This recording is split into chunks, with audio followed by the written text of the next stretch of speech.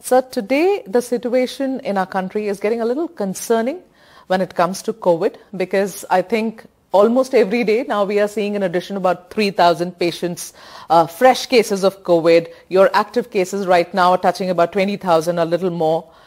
Uh, sir, are we looking at a fourth wave right now? That's my question, and I'm adding to my question here, is that if at all we are looking at a situation that can perhaps get a little more serious, uh, what is our preparation, Health Minister, sir, in terms of ICU beds, in terms of oxygen availability, critical care, etc.? सही है क्योंकि Covid एक ऐसा virus है जो बार बार mutate होता रहता है आज तक इंडिया में ही 214 अलग अलग वेरिएंट पाए गए हैं।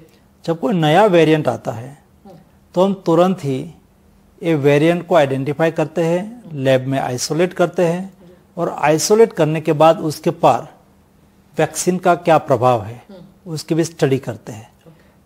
और आज तक जो वेरिएंट आज तक वेरिएंट आए हैं उस सभी पर हमारी वैक्सीन प्रभावी रही है। और अभी जो आप फोर्थ वेव की बात कर रहे हो मैं पूछ रही हूँ कि हाँ ऐसा है कि क्या? हो सकता हाँ। है या तो क्या सरकार की तैयारी है? जी, जी। तो उसके बारे में मैं इतना ही कहूँगा कि B N seven variant last था।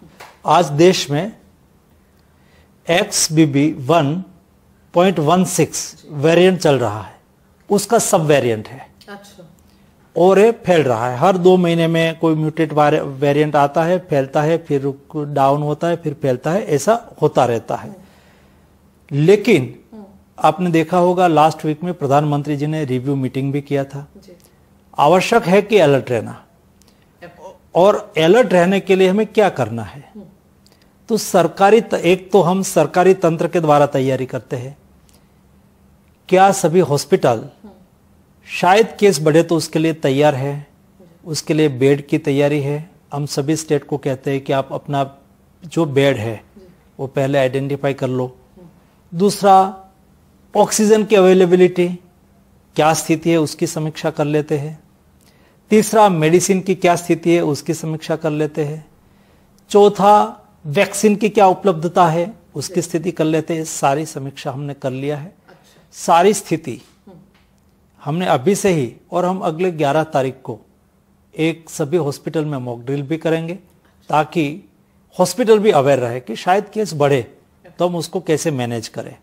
और इसलिए आज तक ये वेरिएंट का सब वेरिएंट होने से हमें कोई ऐसा खतरा नहीं है लेकिन भी सरकार की ओर से हमने सारी प्रिपरेशन हम रेगुलरली हर सप्ताह में उसका रिव्यू करते रहते हैं ऑक्सीजन प्लान चल रहा है, कैसे चल रहा है, ऑक्सीजन की उपलब्धता के बारे में, मेडिसिन की उपलब्धता के बारे में, बेड की उपलब्धता के बारे में आईसीयू की उपलब्धता के बारे में हम हमेशा रिव्यू करते रहते हैं और वे आर कंफर्टेबल